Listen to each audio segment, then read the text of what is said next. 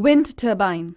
A wind turbine is a rotating machine which converts the kinetic energy in wind into mechanical energy. The first wind turbine was invented in 1888. The man who invented it was Charles F. Brush. When air moves quickly in the form of wind, those particles are moving quickly. Motion means kinetic energy which can be captured. The turbine blades are designed to capture the kinetic energy in wind. The rest is nearly identical to a hydroelectric setup. When the turbine blades capture wind energy and start moving, they spin a shaft that leads from the hub of the rotor to a generator. The generator turns that rotational energy into electricity. At its essence, generating electricity from the wind is all about transferring energy from one medium to another. The simplest possible wind energy turbine consists of three crucial parts rotor blades, shaft, generator.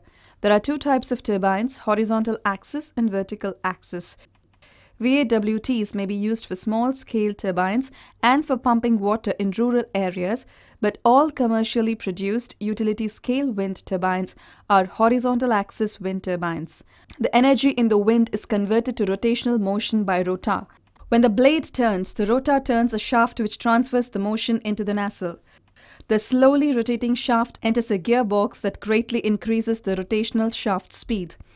The output shaft is connected to a generator that converts the rotational movement into electricity at medium voltage. The electricity flows down heavy electric cables inside the tower to a transformer, which increases the voltage of the electric power to the distribution voltage. The distribution voltage power flows through the underground lines to collection point where the power may be combined with other turbines.